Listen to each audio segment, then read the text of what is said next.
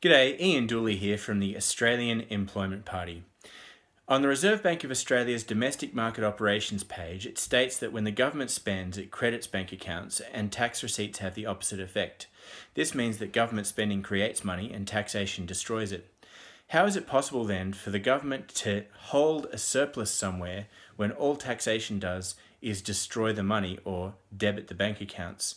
Hasn't the government been lying to us in suggesting that somehow Howard and Costello built up a surplus that was then wasted by Kevin Rudd, and that successive governments have had to borrow money in order to fund a deficit, even though the government just creates the money when it spends.